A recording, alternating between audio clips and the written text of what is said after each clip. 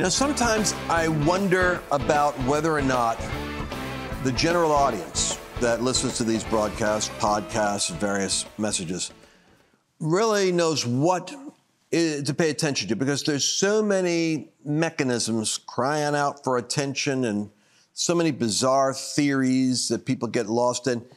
The real story happening right now is the government potential shutdown, the deadlock that's happening in Washington because we have a $33 trillion debt.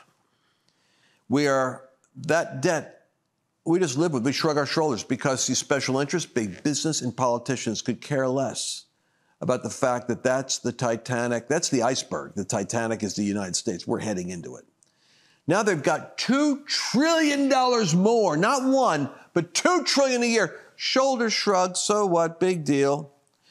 Um, the whole world just had a, a meeting on how to create an alternative financial system in anticipation of the collapse of the dollar. And you're not, you're not aware of that. We're in a world where we're almost living in, a, an unreal bubble. I want to burst the bubble today and tell you that you can prepare for this, uh, this coming storm. There's ways to deal with it, and knowledge is power. My people are destroyed for lack of knowledge. That's one of the verses in the Bible. You need to be conversant on this. I'm going to be talking to Philip Patrick today. I bring him on periodically. I want to talk to him today about the prophecy of Haggai, about the gold is mine, the silver is mine. I want to talk about what's happening with 30 nations getting together to collapse the dollar. What will it look like? What's the time period? And uh, what's the best way to prepare? This is an infinitely important subject. Today, I just realized that if America goes down, then the vaccine cards, the forced, um, the, the loss of currency, everything going digital, it accelerates that whole end time scenario. And I think that uh, we can control, we can put brakes on what the enemy wants to do if we're informed, and I certainly want you prepared. Therefore, strap on your seatbelt because we're going to jump right into Philip Patrick and discuss what's going on in the world of economics and how it's about to show up on your doorstep. Let's take it. Welcome, welcome to the Lance Wallnau Show. I want you to know I've just returned from the Middle East and it's still there. Um, the uh, the other big update that you need to know about is when I was out of town there, evidently, the whole government goes crazy, and it has to happen when I'm out of town. I want to cover the news while it's happening. The news cycle happens when I'm not there. Matt Gaetz had a brilliant exchange with Maria Bartiromo. I want to bring on my friend Philip Patrick, the authority on all things economic and what's going on with the markets out there. Philip, welcome to the Lance Wallnau Show. Thank you so much for having me back. It's good to see you, my friend. And you always have that great kind of, um, I'd say, the masculine dark uh, doors behind you. Is it too disclosing to ask what part of the world are you broadcasting from? We are. We're, we're. I'm in Los Angeles, California. Is where where I am. That's oh, okay. where my, my masculine backdrop is. I, I, thought it was maybe England. Okay, the accent throws me. I'm not good with accents either. So, the uh, the accent. So, so, so here, here's my question for you. Uh, when I'm gone, did you see the Matt Gaetz interview with Maria? I mean, Bannon had it on. Uh, uh, uh what's his name? Who? Uh, Charlie Kirk had it on. I was going to say Ted Cruz. But did you see that exchange at all? Because I might stick a little bit of it in here if you didn't see it. Did you see it? Yeah, I, I, I didn't catch it. I'd love to hear it. Oh, thank you. I, am glad I get to respond to your monologue because if you're saying that I'm standing in the way of all the Republican wins, I'd love you to enumerate them. Watching my friend and mentor Jim Jordan, it was it was quite painful because he started by saying we should only pick one fight, the border. But then as the interview went on, he said, well, we should pick a second fight, Jack Smith. And by the time the interview rounded out, he was saying that we shouldn't be funding Ukraine without a plan. And yet the very continuing resolution that you and Jim Jordan seem to be for continues to have $300 million more for Ukraine. So I think we ought to fight on all fronts. I think the border is very important. And the best way for us to advance the Republican border policies is to pass the Department of Homeland Security Appropriations Bill, do that along with veterans, defense, ag, state and foreign ops. We'll have 73% of the discretionary uh, budget funded. And if, you know, the Department of Labor and Education have to shut down for a few days as we get their appropriations in line, uh, that's certainly not something that is, is uh, optimal. But I think it's better than continuing on the current path we are to America's financial ruin. Congressman, I understand, and that is why you are on this program this morning, because I want to give you a fair shot and I want to get your you uh, heard. So tell me why you are threatening Speaker McCarthy and trying to shut down this government uh, at a time that the Republicans have finally gotten some upper hands here uh, in terms of wins, able to investigate President Biden on what looks like uh, bribery. Yeah, we don't put our pencils down in the investigation of President Biden during a shutdown, so the premise is false. Second, if Kevin McCarthy was actually serious about pursuing the Bidens, he would have sent Hunter Biden a subpoena by now. That's how you know this is sort of failure theater that you're observing. The, uh, during the first year of Democrat control of the Congress, they brought in Donald Trump Jr. three times over nothing over a nothing burger. And so we seem to be fundamentally unserious in our oversight. But what is serious is the fact that we are spending more than $7 trillion a year, bringing in around $5 trillion a year. And uh, it, I want to fund the government. I'm not pro shutdown, but the way to fund the government is not the same way we've been doing it since the mid 90s, where it's one up or down vote on the entire government all at once. We should have separate single subject spending bills. Kevin McCarthy promised that in January. He is in breach of that promise. So I'm not here to hold the government hostage. I'm here to hold Kevin McCarthy to his word.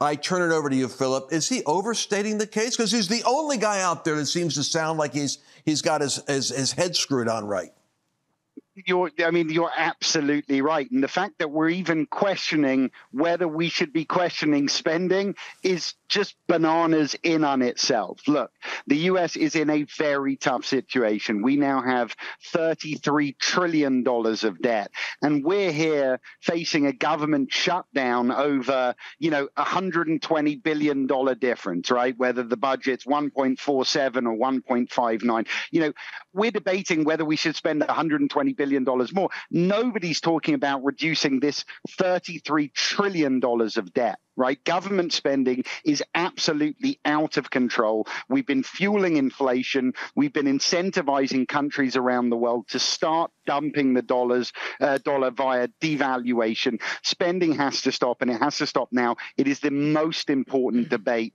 we should be having today as American citizens. So no, he's absolutely right to bring up spending. And, he, and the point that he's making, uh, Philip, is you understand that this is the most serious issue you could possibly be dealing with.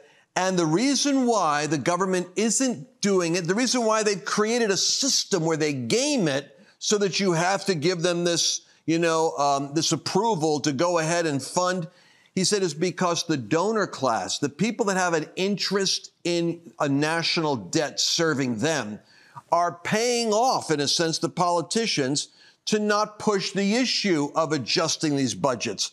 So so in a sense, it, there's special interests and political reasons why the, the, the uninformed American is actually being set up for a fiscal disaster. So, so I, my question for you is, before we go further in this interview, you have always been for me the one who talks about how can we protect ourselves. And we're going to go into the de-dollarization and BRICS in a minute.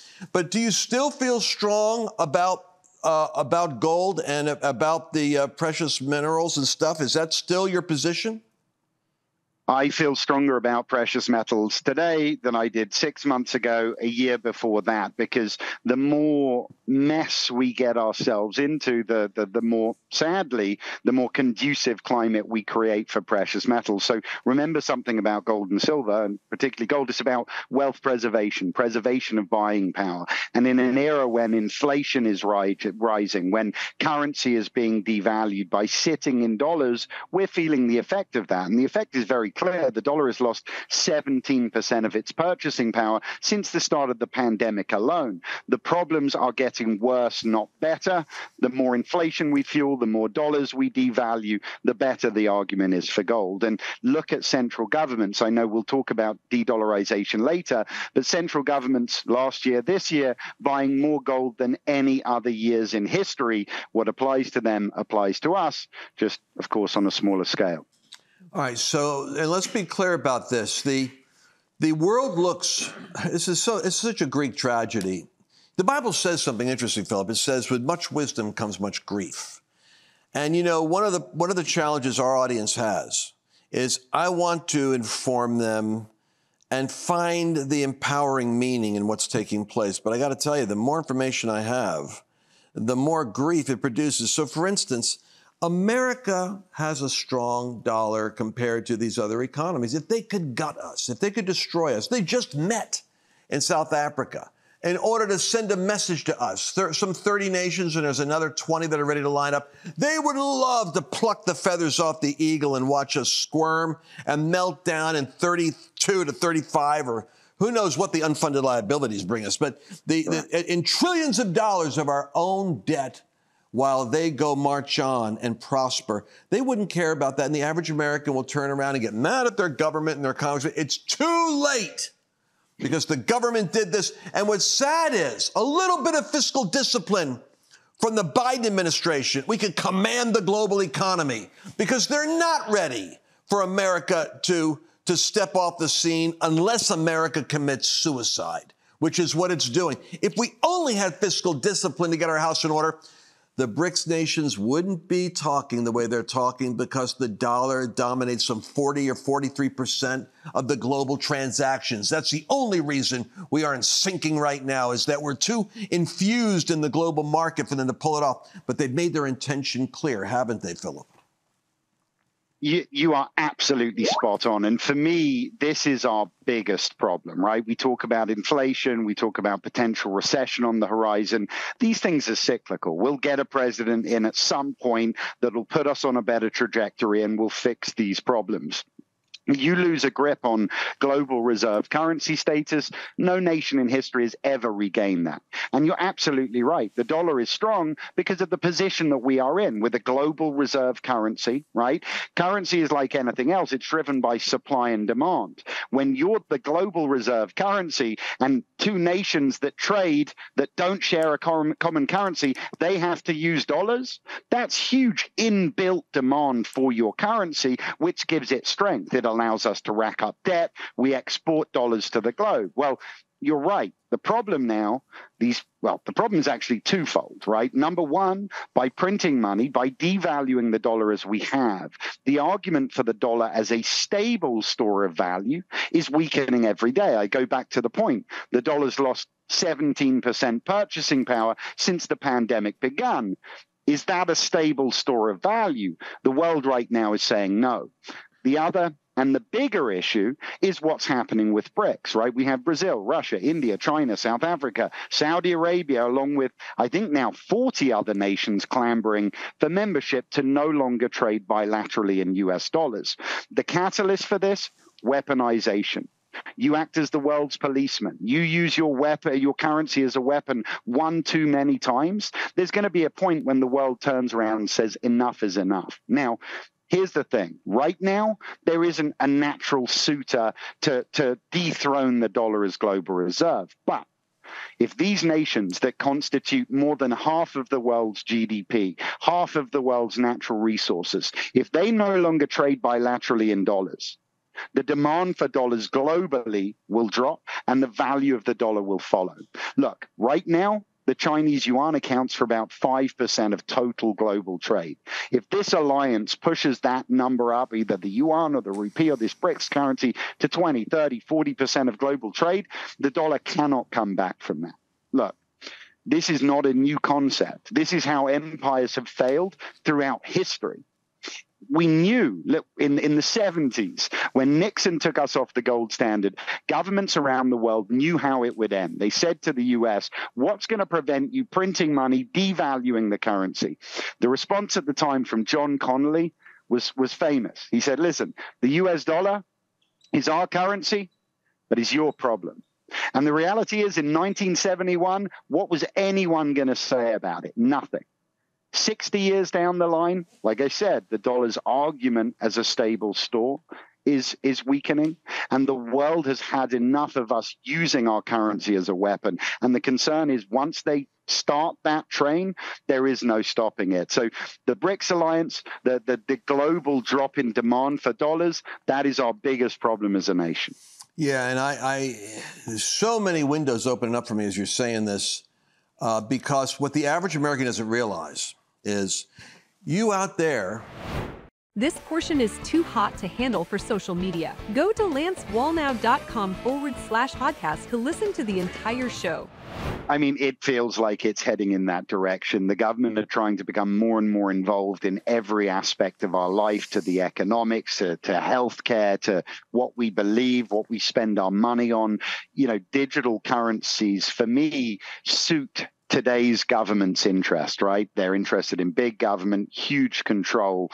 Um, so it, it's very, very concerning. We look at how things like social credit scores are used in China. You know, if that happens here in the US, we've got a big problem. But that is not a world that I want to have anything to do with. It sounds like a frightening dystopian future, but it it feels like the direction they're pushing us. But I think it's down to the American people to to say no, we're not going to go down that route and elect people that represent our interests. So I think 2024 is is going to be a very very important election, and I think we've got a lot of work to do economically. But my concern is this is it too late now? Has Biden, and, and, like I said before, this is where one presidential term becomes very, very dangerous because if you make too many mistakes and and and we start that train, it's very, very difficult to I, stop. Russia and China never enjoyed the dominance of the US dollar, but to change the system requires huge upheaval, economic hardship, and I don't think they had the catalyst to do it up until now. So I'm getting really concerned with our future. So therefore, what should we be doing and this is where you come in because your, your message has been consistent. What steps does my audience need to take if they have the ability to take action? What should they be doing? Look, I mean, education is is the most important thing. I say it all the time, but when we understand what the problems are, the solutions start to become much more simple. But I think just to summarize, everybody needs to hedge exposure, and that means exposure to currency and ex- exposure to, to the dollar. And precious metals in climates like this, they work incredibly well because the same problems that we're talking about, they drive safe haven commodities like gold and silver up, right? Look at central governments last year. We talked about de dollarization. US dollars held by central governments are at 25 year lows, right? The governments around the world are dumping the dollar. And what are they doing to hedge? They're buying gold. Last year and this, biggest years for gold buying in history by central governments. And the reality is this I think they see that the writing is on the wall for the dollar.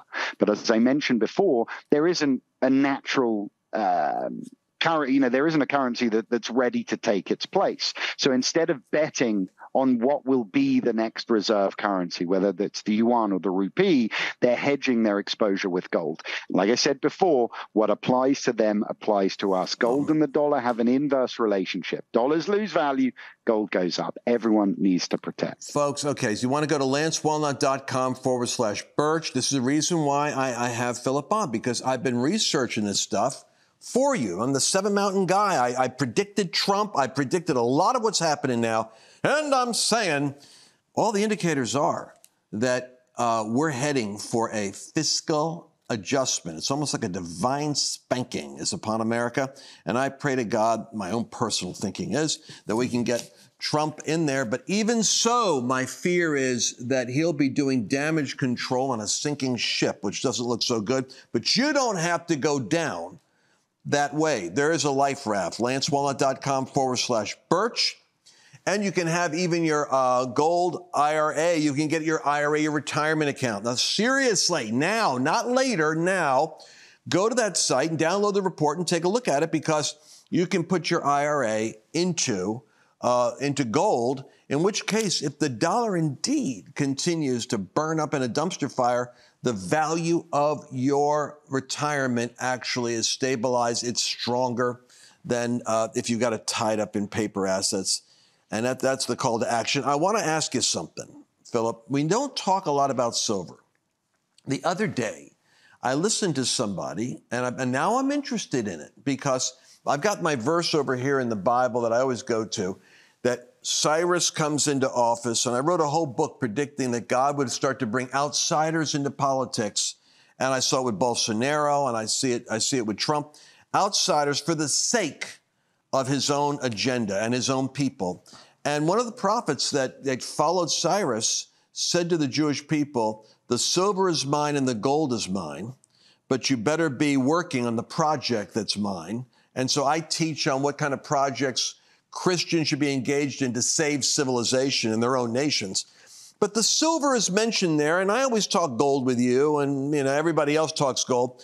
But silver has a kind of a cycle to it, and they're telling me, oh, it's you know, it's not that good an investment. But listen, silver has a different utility, I think, than gold, in that it's so much a part of the economy in terms of the technology that I, I see silver as being part of the future, even though cyclically it may not be up now, it might be a long term play for people who are thinking long term. What are your thoughts on silver? Educate us on that.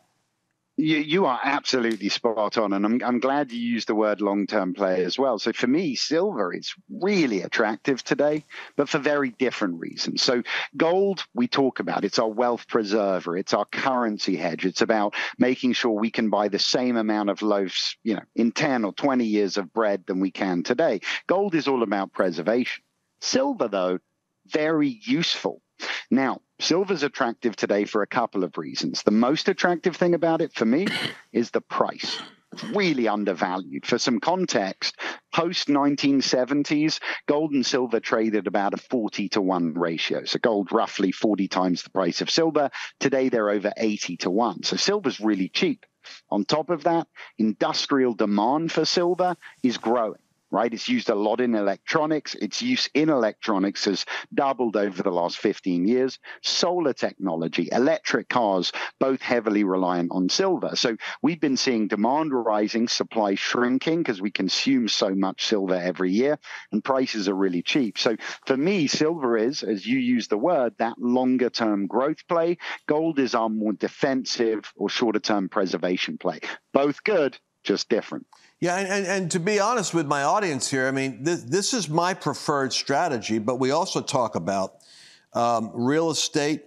Uh, it requires really intelligence, to, real intelligence to know where to go because the real estate bubble is about to burst and there's a lot of adjustment. But still, I, have got friends of mine that own like five properties that because they know where to go. And, and so I, I teach our people that you want to have a diversified portfolio. You don't want to just be all in one basket over here. I believe silver. Uh, you're not going to regret that one because the gold is mine and the silver is mine. And silver, like like, uh, like Philip said, Elon Musk and the future of our energy efficient from solar down to all that technology is going to require silver. So the government's forcing itself into that business and people are going to be manufacturing it, finding it, buying it, mining it. Trust me. Uh, there's a future there. It's a, it's a quick question. So I know this sounds really basic, Philip, but I was just talking to somebody the other day. Um, and she was gifted. Somebody came up and gave her a gold ring and two gold coins, and she just kind of threw them in the back of a uh, a drawer because she had no idea its value. She didn't understand anything about gold, and so she was asking me really basic questions. And I'm realizing some of our audience is going to be like this, but you know what exactly people think well i have these gold coins what am i going to do with them? And so you know could you just talk about what what people can do with them? I mean i think people preppers think oh we're going to trade in silver coins. But other than that can you just talk about that a little bit? Because people just don't even understand gold and the value of gold and silver right now. Of course. So for me Personally, I don't buy gold to trade in the streets for goods and services in the future. Look, I think our dollar has problems, but I don't think it ends, at least now, in, in barter and trade. So for me, it's it's about preserving buying power, right? Dollars every single day lose value to inflation. So if you have a certain amount of dollars today, that same amount of dollars in 10 years' time, your buying power is going to be significantly reduced. The idea with gold is that as the dollar goes down, it increases. You sell your gold coin back for more dollars and preserve your ability, your your your your money's ability to purchase. To give you an age-old example, which I sort of touched upon earlier, gold's value, its buying power, very consistent. Mm-hmm. Biblical times, one ounce of gold, 400 loaves of bread. Today, $4 and some change, one ounce of gold, 400 loaves of bread. So gold's buying power is consistent. What changes is the value of the dollar. So basically, as dollars become weaker over time, which they do, you'll need more of those weaker dollars to buy the same ounce of gold, hence that inverse relationship. So for your friend with the two gold coins, yep. sell them when you need the liquidity. You'll be worth more dollars and you go back and you spend the money and preserve your money's ability to purchase. That's the key. Love it.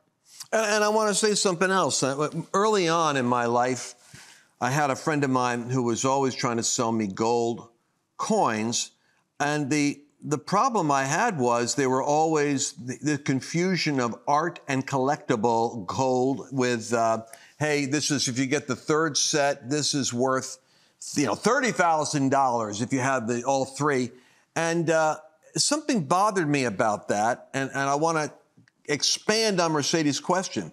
Some people have bought rare gold coins or coins that are collectibles. And I want to suggest to you that uh, you, you maybe want to try to sell them now because the last thing you want to do is have little resources go into a crisis and think that those collectible coins are going to deliver to you what the guy that sold them to you says they're worth. Because if you're in a crisis, everything changes. And the bartering value of it is just gold. And all the extra money you paid for the art value is burned up because the market in a crisis is going to take advantage of the crisis. They're not going to pay you what you think it's worth. So if you've got, now this is going to freak some people out, but if you got somebody sold you those collectible gold coins, those rare gold coins that theoretically have all that value, unless you can afford to make it like an art project, like the artist, uh, who just it doesn't have to touch it. If you're doing this as a, a hedge survival strategy, let those get sold now to someone that wants them as art collectibles, and you get the dollars and put it into gold that has the ability to be stored value. Does that make sense, Philip? Yeah, listen, it absolutely does. Collectible gold coins, I would liken to what I said about art. People can do incredibly well, right? I've seen people turn them around in short spaces of time and do really well. But number one, you got to know what you're doing. Number two, you know, it's the liquidity side of things, right? You can take a one ounce gold bar anywhere in the world, there's going to be a buyer. For a specific coin, then there's, you know, you need a specific buyer. So it's a very different type of thing. Um, but uh, yeah, I, I would agree with that. Look, with the guys that come in with that worst case scenario, prepper mentality, they're always looking at, at metal content. Some people like coins, like an American Eagle or a Canadian Maple Leaf. They're minted by a government. They trade very close in price to bars. So th- there's lots of different options. Personally, I stay away from rare coins as well. It's not a market that I invest in. You know, I have a few things from from back in the day, but generally speaking, I, I, I would agree and somebody in that market really needs to understand that market. But if you're buying for worst case scenario, metal content's usually the way to go. Yep, and by the way, I, my, Annabelle, my wife, loves the American Eagle and the Maple Leaf, and so I don't look at that as being the rare vintage artwork types that you know you have to get a three of a kind, and there's only a few of them in the world. Mm-hmm. So I agree, I agree with that. But listen, we're running out of time here. And, and I, I'm sorry that we are. So I just got to squeeze in one little bonus question here before we go off the air a little bit of um, you know predictive work. Uh, we're looking at this government deadlock. What, what do you think's going to happen? It's an unfair question, I know, to ask you, but what do you think's going to happen here? Uh, Matt, Matt Gaetz is fighting; he's, he can't even get unity with the you know, Freedom Caucus or whatever. But do you do you think there's a, where's this going to go with the gridlock? Do you think we can succeed in shutting down for a little while, or is this just a lost cause? And look, we could see a shutdown this time because I think they're really trying to force and, and curb some spending. But the reality is this eventually, the federal government are going to work it out. One side is going to capitulate and the spending is going to continue. And whether that spending totals 6.9 trillion or 6.78 trillion, the national debt's going to increase more than a trillion dollars. And what concerns me, and this goes back to how we started this, more than this budget or the next one, the government hasn't reduced the national debt at all in 20 years, right? Where is the plan to pay back this $33 trillion in debt, right? That should be the focus, and nobody's talking about it. These are theatrics. They're going to get ironed out. Maybe we see a shutdown, more volatilities, and you know economic uncertainty, but it'll get ironed out. But we need to start talking about this debt because that is a ticking time bomb. And we'll conclude with this. I think Matt Gaetz, if you can watch uh, that entire segment, you'll hear under the under the fire of that moment, he's clearly got the facts. He's got the receipts on why we have to act now, and uh, and and I think we need a Churchillian moment for some of these politicians. They're afraid to do it, but boy, America will reward you like like England rewarded Churchill by saying clearly, we are heading into the storm of a potential Great Depression, self inflicted, when we could actually extend freedom and peace and prosperity to our children. The selfishness and inactivity of Washington is setting you up in America for a disaster. Remember, I told you that's coming. And uh, remember that bold action is required now in order to avert disaster. For those of you that are at home, uh, you can have your own Churchillian speech. You do it at the kitchen table and do this. Go to lancewallnau.com forward slash birch. Get informed on the 20 page uh, download we have on silver and gold. And I would advise you to do what I personally believe myself put a percentage of your hedging for the future into the precious metals. I believe silver has a great future. We don't talk about it enough. I believe gold is a, is a, is a no brainer. You, you need to have a certain percentage of your uh, retirement and of your future in a place that's as stable as that. And if you go to the lancewallnau.com forward slash birch now, you'll get a very great deal. And they're going to be able to give you consultation. You'll talk to someone like Philip who will be able to answer your questions, which I wasn't able to get to. Thank you, Philip Patrick, for joining us. And uh, we look forward to always having uh, your updates. They're always so prescient. Thank you. Thank you for having me. And thank you, Mercedes, for throwing me those questions, whether I wanted them in the middle of the broadcast or not. And we'll be back again, I guess, tomorrow with another. Uh, I can't believe we went for over a whole uh, podcast there. We're going to be back again tomorrow. You don't want to miss what's happening right now in Washington. We'll be back. Bye bye. Hey, let's take a moment right here and talk about something. You know, these programs are actually paid for by sponsors. And so, the one thing that I always do is try to pick the sponsors that have the greatest value. Those are the ones that I myself believe in. Now, the Birch Gold Group is one of those key sponsors, and I'll tell you why. The economy is the area that I'm the most concerned about in terms of instability in the future. Do you know that right now, China and Russia and India is meeting with Saudi Arabians and South Africans to create an alternative economy, to basically crush the dollar? This is going to have a massive effect on the stock market, on real estate.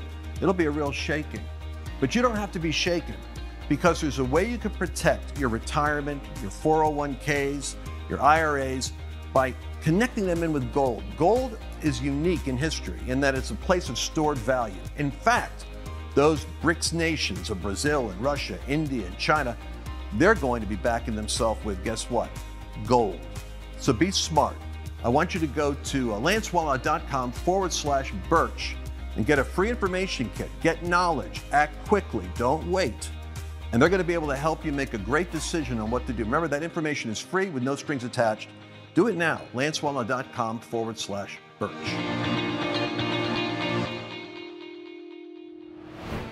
Did you enjoy this latest episode?